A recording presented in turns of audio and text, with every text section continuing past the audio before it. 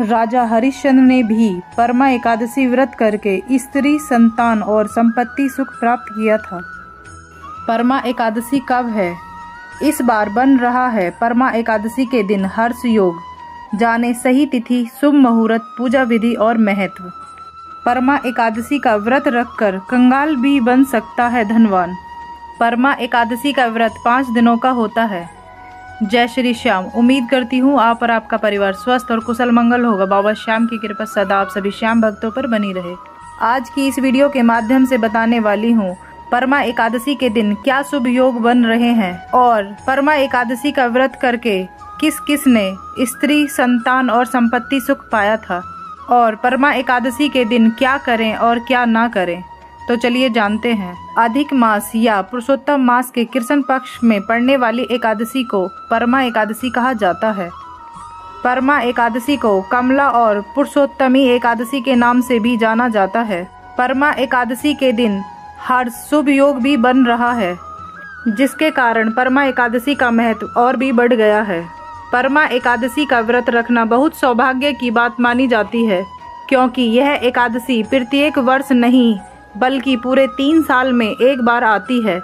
मान्यता है कि इस दिन व्रत करने से दुर्लभ सिद्धियों की भी प्राप्ति होती है।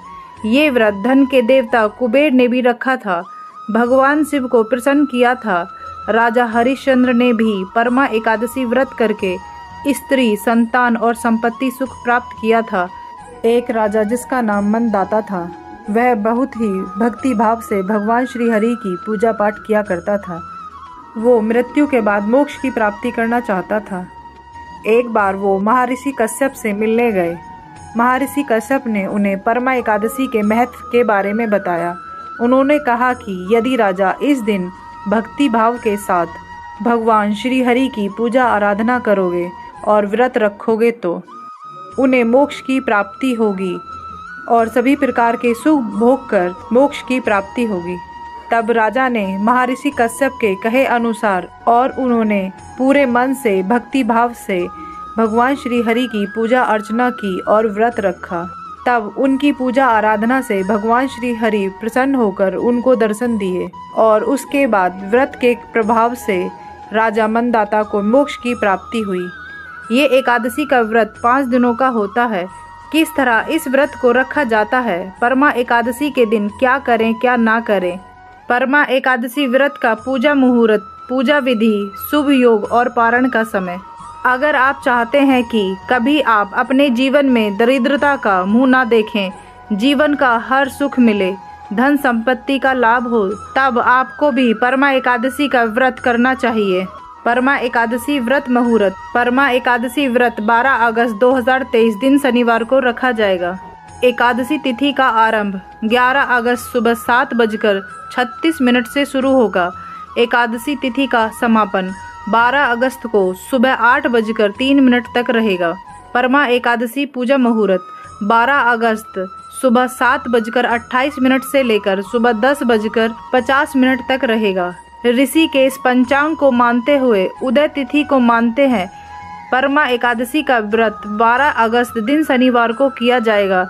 जबकि द्वादशी तिथि 12 अगस्त को सुबह आठ बजकर तीन मिनट से 13 अगस्त सुबह आठ बजकर पचास मिनट तक रहेगी। यानी 13 अगस्त को द्वादशी तिथि मनाई जाएगी। परमा एकादशी पारण शुभ मुहूर्त। 13 अगस्त को पाँच बजकर अड़तालीस मिनट से आठ बजकर सत्ताईस मिनट के बीच में किया जाएगा। परमा एकादशी व्रत का महत्व। अधिक मास में पड़ने वाली परमा एकादशी का विशेष महत्व माना जाता है। क्योंकि यह तीन साल में एक बार आती है। इस तिथि पर भगवान विष्णु की पूजा अर्चना और उपासना करने से सुख एवं ऐश्वर्य की प्राप्ति होती है और दुख व दरिद्रता का नाश होता है। साथ ही सभी पाप नष्ट हो जाते हैं और बैकुंठ धाम की प्राप्ति होती है। परमा एकादशी के दिन दुर्लभ सिद्धियों की भी प्राप्ति होती है, इसलिए इसे परमा एकादशी कहा जाता है। शास्त्रों में बताया गया है कि इस तिथि का व्रत और कथा सुनने मात्र से सौ यज्ञों के बराबर पुण्य फल की प्राप्ति होती है। और शंख चक्र व गदाधारी भगवान विष्णु की पूजा करने से जीवन में सुख शांति बनी रहती है। परमा एकादशी पूजा विधि।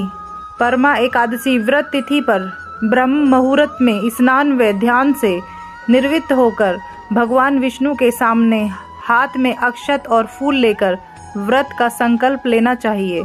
इसके बाद एक चौकी पर लाल कपड़ा बिछाकर भगवान विष्णु की मूर्ति या तस्वीर रखें और चौकी के नीचे पूजा की सामग्री रख लें। इसके बाद भगवान विष्णु को पंचामृत से स्नान कराएँ और साफ़ कपड़े से पहुँच लें। उसके बाद धूप दीप फूल अर्पित करें और भोग में तुलसी पत्र रखना न भूलें। परमा एकादशी व्रत की कथा सुने और उसके बाद आरती करें। आरती करने के बाद भगवान विष्णु की सशस्त्र नाम का पाठ करें। फिर दान दक्षिणा करते हुए फलहार कर सकते हैं। शाम के समय भी भगवान श्री हरि की पूजा अर्चना करें और द्वादशी के दिन विधि विधान से व्रत का पारण करें। परमा एकादशी के दिन क्या करें? भगवान विष्णु को समर्पित एकादशी व्रत के दिन भगवान को पीले वस्त्र अर्पित करें। पीला आसन बिछाएँ, हल्दी, पीला चंदन, अक्षत पीले फूल इत्र धूप दीप चढ़ाकर पूजा करें। भगवान विष्णु को पीले बेसन के लड्डुओं का भोग लगाना चाहिए।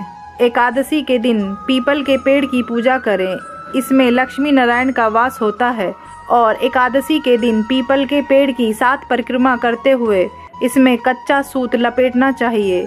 इससे परिवार में खुशहाली आती है और संतान सुख प्राप्त होता है। परमा एकादशी व्रत रखने वाले लोगों को अगले पाँच दिनों तक इसका पालन करना पड़ता है। पाँचवे दिन विधित पारण करने से मनचाहा फल प्राप्त होता है। परमा एकादशी से पाँच दिनों तक स्वर्ण दान विद्या दान अन्न दान भूमि दान गौदान करने से पुण्य प्राप्त होता है।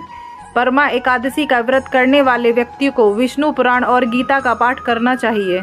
परमा एकादशी के दिन रात में भजन कीर्तन करते हुए जागरण करना चाहिए। परमा एकादशी का व्रत करने के बाद द्वादशी के दिन भगवान श्री हरि की पूजा करें। फिर ब्राह्मणों को भोजन करवा के और दान दक्षिणा देने के बाद ही व्रत का पारण करें। परमा एकादशी के दिन क्या नहीं करना चाहिए? परमा एकादशी के दिन भूल कर भी काले कपड़े न पहने। ऐसा करने से दरिद्रता आती है और आर्थिक तंगी का सामना करना पड़ता है। एकादशी के दिन किसी के घर का कुछ न खाएँ। अगर आपको किसी कारणवश खाना पड़ जाए तो उसके कुछ पैसे दे दें आपके दरवाजे पर आए किसी भी अतिथि को बिना मान सम्मान के नहीं लौटाना चाहिए एकादशी के दिन सुबह सूर्य उदय से पहले उठें और दोपहर में न सोएँ। एकादशी के एक दिन पहले से ही ब्रह्मचार्य का पालन करें क्रोध ईर्षा की भावना का त्याग करें परमा एकादशी का व्रत तीन साल में एक बार आता है, जिस वजह से इस व्रत का पालन करने वाले लोग इसका लंबे समय से इंतज़ार करते हैं और इस दिन बिना किसी भूल के, पूरी श्रद्धा और विश्वास के साथ ये व्रत रखते हैं। तब आप भी सावन के अधिक मास के कृष्ण पक्ष में आने वाली परमा एकादशी का व्रत रखें, पूजा अर्चना करें और सब सुख प्राप्त करें। उम्मीद करती हूँ इस वीडियो के माध्यम से बताई गई एकादशी व्रत की जानकारी आपको पसंद आई होगी। अगर आप मेरे चैनल पर नए हो तो चैनल को सब्सक्राइब करें। वीडियो पसंद आए तो लाइक एंड शेयर करना ना भूलें। हारे का सहारा बाबा श्याम हमारा। जय श्री श्याम।